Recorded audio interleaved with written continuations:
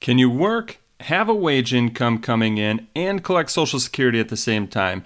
And if you do, will your benefits be reduced? Well, the answers are yes, maybe, and no. Three answers to one question. And in today's show, we're going to go through all of those answers. We're going to talk about if and when your benefits would be reduced, how you get the deductions back, and then also we're going to talk about four key ingredients to help you determine when to take Social Security. Welcome to the Your Life, Your Money podcast with Scott Sierens, teaching you how to thrive in life, wealth, and retirement.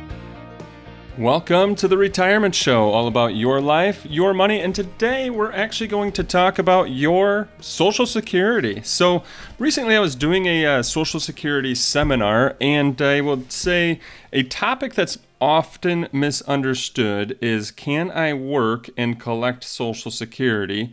Which then leads to the next question is will my social security be reduced if I do work? Well, short answer to the first question, can I work and collect social security is yes. Will my social security be reduced if I work? Well, the answer to that is yes maybe, no, and that's what we're going to talk about today the deductions to Social Security if you are working and collecting Social Security, when those deductions do and do not apply. And then stick around to the end because I'm going to talk about the four key ingredients of what you should consider, the ingredients that you should consider um, before claiming your Social Security, or the four ingredients in deciding what your claim date should be. Now, another resource for you in regards to Social Security, if you haven't yet, check out our YouTube channel. That's Sierens Financial Group on YouTube. It's S I E R E N S, Sierens Financial Group. We have a video on there that is when to take Social Security, the three uncommon factors that you want to consider. So go to YouTube, check out our YouTube channel. Hey, if you enjoy the, the video, there's plenty more videos coming out. So subscribe while you're there. Um, that helps the whole YouTube algorithm, says that people like our channel and helps us continue to grow as well. So we really appreciate if you want to subscribe while you're there. And as I had mentioned, a uh, actually there's a few videos out there in regards to Social Security, but one of the most recent one, ones that we did is when to take it: three uncommon factors to consider.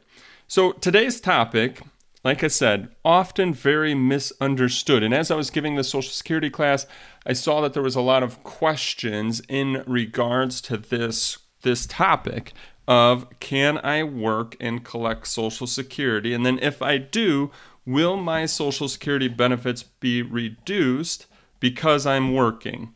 And as I had mentioned, the, the first answer is yes, you can work and collect Social Security at the same time. However, your benefits could potentially be reduced depending on when you started each, I'll say, scenario here.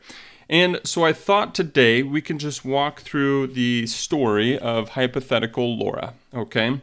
And we're going to say Laura, her full retirement age. Now, in Social Security, there's like a couple key phrases. One is full retirement age, and the other is primary insurance amount. Now, today we're not necessarily worried about primary insurance amount, but basically full retirement age, that's the age in which you can collect your full Social Security. That's all based upon when you were born. So for some people, based on when they were born, it might be age 67. For others, it might be 66 and six months or 66 and eight months.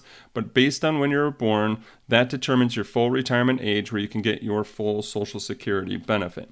Now, let's just say in our story here, Laura um, Laura is going to turn full retirement age in October of 2024. So as we're recording this here and it, publishing it, uh, this will come out in June of 2023. So we're going to just kind of use where we're at in time to help describe this whole scenario. So full retirement age, October of 2024. We're currently in 2023. Okay, now there's three periods of time, all with different impacts to Laura and working and Social Security. So, three periods of time. The first period of time to understand is prior to the year of full retirement age. So, we said Laura turns full retirement age in 2024. So, this first period of time would be prior to the year of full retirement age. So, that would mean 2023, 2022, 2021. Anything 2023 or prior is the first period of time that we need to be aware of. Now, the second period of time is the year of full retirement age. Now, we said her full retirement age is October of 2024. So, the second period of time is the year of full retirement age up to the month of full retirement age. So, the second period of time here would be January of 2024 through September 31st of 2024. And then the final period of time that we'll talk about today is at full retirement age and after. So that would be October 2024 and after. Okay, now let's kind of dive into these different periods of time and what it means if you're working and taking Social Security. Okay, so the first period of time prior to the year of full retirement age. So in our example, again, Laura's full retirement age is 2024. So this would be any year that's 2023 or before. The rule here is $1 of benefits is deducted from your Social Security benefit for every $2 of earnings over $21,240 let's just say that Laura's going to start collecting Social Security in January of 2023, or she did start collecting January of 2023, and the amount that she's going to get for the year is $30,000. We're going to keep keep our numbers simple today.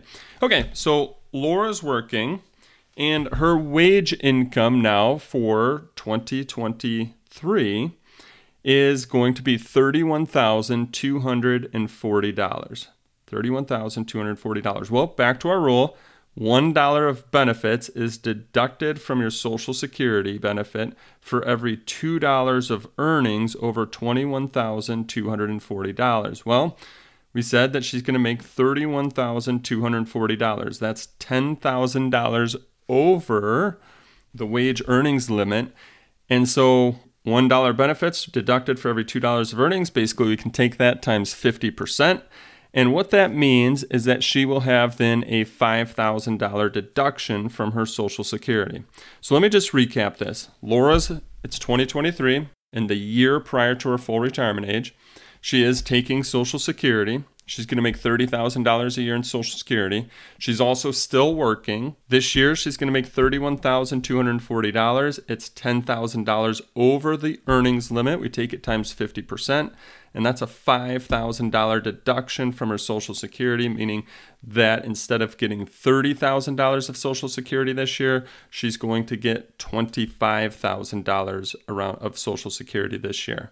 Now, Stick around to the end. We'll discuss what happens with these deductions and whether or not you get them back. But right now, we just want to talk about the periods of time and what happens in those periods of time. Now, let's just say instead, Laura made $15,000 for the year. She didn't make $31,240. Well, that 15,000 falls under the $21,240 earnings limit. And so then guess what? She made $15,000 plus her $30,000 of Social Security, and there were no deductions to her Social Security. Okay, that's period of time number one. Like I said, stick around to the end um, because we'll talk about whether or not you get those deductions back and how you get them back. All too often, I find people go, Oh, I just want to stay under the earnings limit. I don't want them to deduct anything from my Social Security because they think that they will never get it back. And, folks, that's not the case. You do get it back, but in a certain way. And so I'll explain that at the end of how much you get back and how that all works. Okay, let's move on to period of time number two. Oh, before I talk about that really quick, one of the common questions that we get during the class is what counts as wage income? So, what will count towards that earnings limit? Let's just keep this really simple today. What counts as wage income could be W 2 income, self employment income, bonuses, commissions, vacation pay. All of that counts as income towards or going over that earnings limit.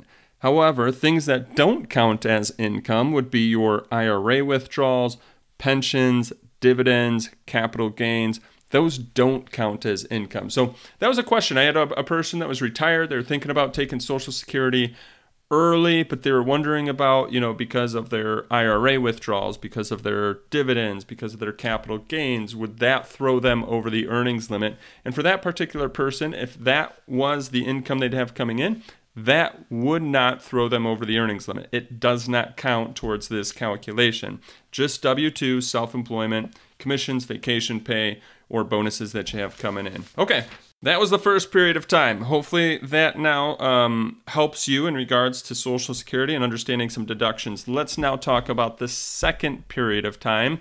Now we're into 2024. Laura turns full retirement age in October of 2024, but we're at January of 2024. And as we already know, Laura's working. She's already collecting Social Security. But this period of time is a little bit different. So, in our example, she's already taken Social Security. She's taken, um, she's got $30,000 a year of Social Security coming in because she started taking it in 2023. She had that deduction in 2023 based on how much she made, that $31,240. Now, Laura's going into, right, because now we're in January of 2024, she's going into period of time number two. And the way period of time number two works is in the year of full retirement age. So, full retirement age 2024, January of 2024. She's in the year of full retirement age. Okay. In the year of full retirement age, $1 of benefits is deducted from your Social Security benefit for every $3 of earnings over the $56,520. See, now they've they've changed it up in two different ways. $1 of benefits is deducted for every $3 of earnings and it's over a new earnings limit. It used to be 21,240 and now it's going up to $56,520. And I should have said before, all of these are based on the current rules. We're in year 2023 right now, but these get updated each and every year. So you want to check with, you know, most recent IRS guidelines. So back to it here, second period of time, earnings over $56,240. Well, we said that Laura, her wages, now this could be wages, self employment, bonuses, vacation pay, her wages were $31,240. In 2024, she falls under the earnings limit. So, guess what? No deduction to her Social Security. So she can make that $31,240 plus she'll get all $30,000 of the Social Security that she's collecting. However, let's just say, and, and I should say, the period of time there, this only applies to the months before her full retirement age. That's it. It only applies to the months of January through September. It doesn't apply to the months of October, November, and December. It applies to the months of January through September. Now, let's say in January through September of 2024, Laura gets a bonus. Great year. She's having a great time at work and gets a great bonus. And her bonus puts her total income of $65,520. I mean, heck, going from 31,240 to 65,520. That's a nice bonus, right? So she gets this bonus, $65,520. Now we have to do some math. We have to do some math based on the earnings limit because she made this money before October of 2024. So we do some math. We subtract out the $56,520. She's officially $9,000 over the earnings limit. This one, instead of taking it times 50%. This one we divide by 3 because we're in the same year of full retirement age. Now we divide by 3 and that $9,000 over divided by 3 would mean that she's got to take a $3,000 deduction to her Social Security. So her Social Security was going to be $30,000 coming in. Now we take a $3,000 deduction, which means that she would get $27,000 of that Social Security. Remember, that doesn't go fully away for life. We're going to talk about um, what happens to those deductions here in a little bit. Okay, so hopefully understand we've got period of time number one, which is the years prior to the year of your full retirement age. Period number two, the year of your full retirement age from January to the month that you turn to the month prior to the month of full retirement age. Our example here was January through September. Period of time number three is full retirement age and after. So Laura finally gets to October of 2024. This is now when she would have, even though she took Social Security early, this is still considered her full retirement age from a Social Security standpoint. So she took it early. That was her decision. This is still just kind of in the social security mindset. This is still considered her full retirement age, even though she's already collecting.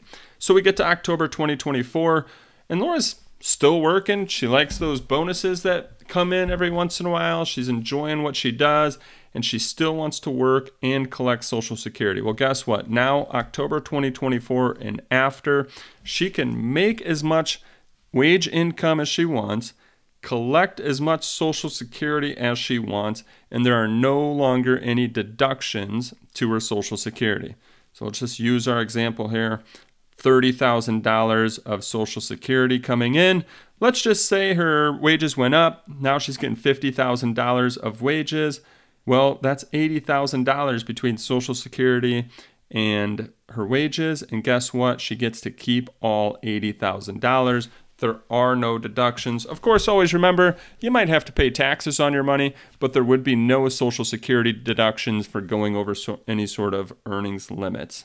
So, three periods of time, three different um, thought processes. In each period of time, you could hopefully see that you could potentially have a deduction, potentially not have a deduction, or as we talked about our third period of time here, full retirement age and after, there are no deductions. You can collect as much Social Security as you want and earn as much as you want, and you get to keep all of it in your pocket, of course, minus taxes. So, back to the question then for those then that think about taking it early and they're going to still work and they're worried about these deductions, will they get the deductions back? Let's talk about that.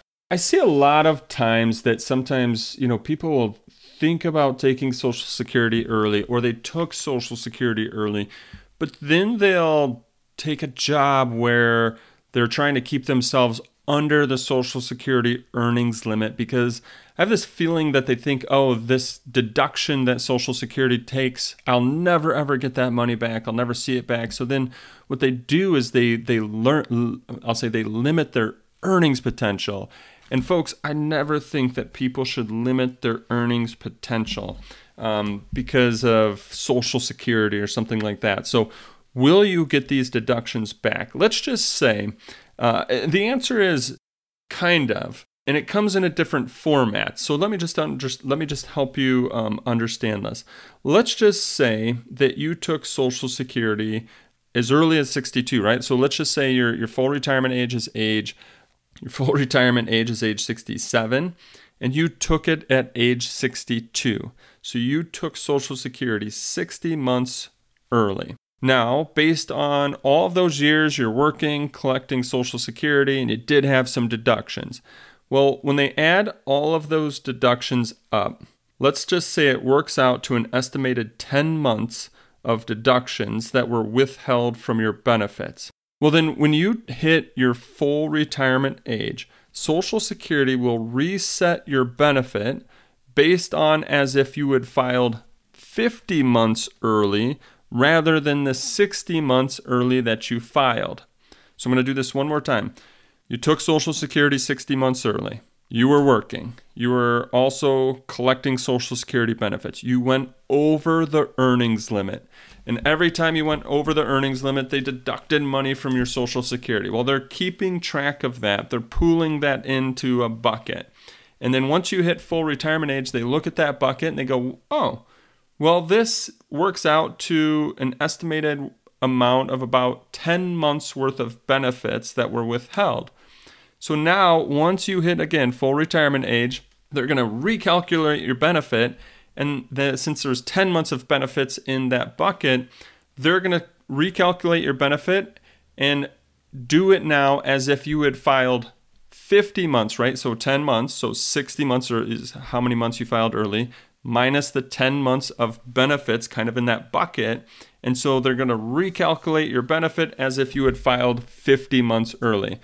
And so your benefit will go up, but you're going to get those I'll, I'll say you get those deductions not all in one lump sum. You're going to get them back over time based on your benefit going up at your full retirement age. Now, it's not going to go up a lot, right? It's still going to be as if you filed early. But hopefully that helps you understand those benefits, those deducted benefits, they don't go away forever.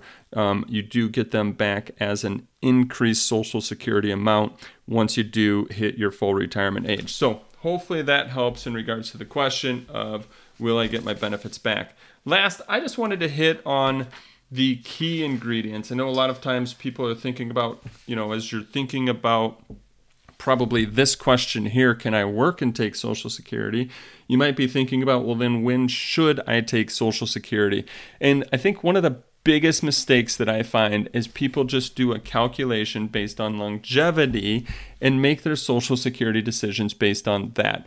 And my opinion is that is a big mistake.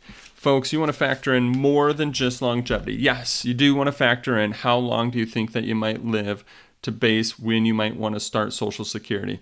But a few other key parts that you want to think about are cost of living adjustments. Because once you take Social Security, that is a permanent decision. Permanent decision. There are very few takebacks in regards to that decision. So just kind of look at that as a permanent decision. So once you take it, permanent decision, all your cost of living adjustments are based on that permanent decision. So let's just keep this simple.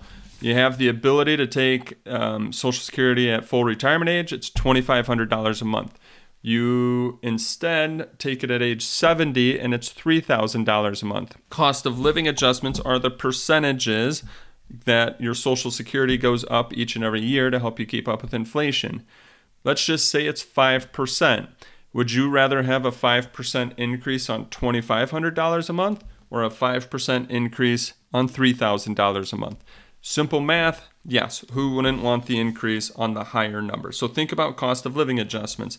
The next is survivor benefits. You want to think about that as well. If you're a couple listening to this, you only keep one of the two social securities if somebody were to pass away. You keep the higher of the two. So if you're a couple, one of you pass away, you only keep one of the two social securities and you keep the higher of the two. And the last key ingredient that I think a lot of people fail to calculate into when they take their social security is how much you've saved in your retirement savings.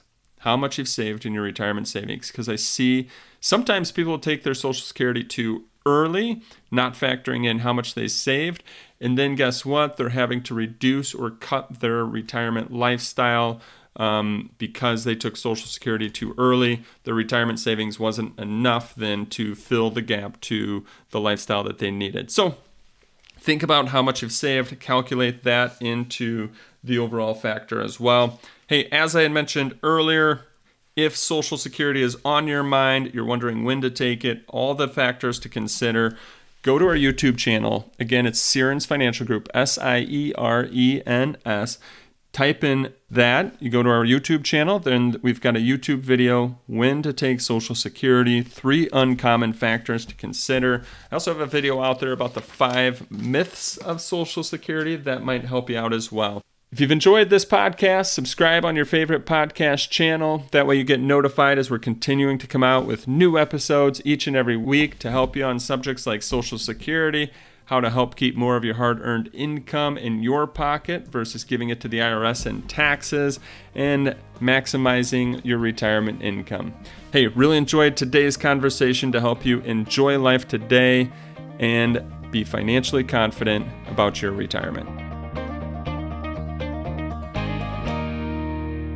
Insurance products are offered through the insurance business Sierens Financial Management, Inc. Sierens Financial Group, Inc. is an investment advisory practice that offers products and services through AE Wealth Management, LLC, AEWM, a registered investment advisor.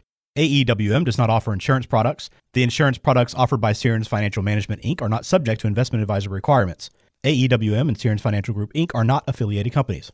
Investing involves risk, including the potential loss of principal. Any references to protection, safety, or lifetime income generally refer to fixed insurance products, never securities or investments. Insurance guarantees are backed by the financial strength and claims paying abilities of the issuing carrier. This podcast is intended for informational purposes only. It is not intended to be used as a sole basis for financial decisions, nor should it be construed as advice designed to meet the particular needs of an individual situation. Please remember that converting an employer plan account to a Roth IRA is a taxable event. Increased taxable income from the Roth IRA conversion may have several consequences, including, but not limited to, a need for additional tax withholding or estimated tax payments, the loss of certain tax deductions and credits, and higher taxes on Social Security benefits and higher Medicare premiums. Be sure to consult with a qualified tax advisor before making any decisions regarding your IRA. Sierens Financial Group Inc. is not permitted to offer, and no statement made during the show shall constitute tax or legal advice. Our firm is not affiliated with or endorsed by the U.S. government or any governmental agency. The information and opinions contained herein provided by third parties have been obtained from sources believed to be reliable, but accuracy and completeness cannot be guaranteed by Sierens Financial Group Inc.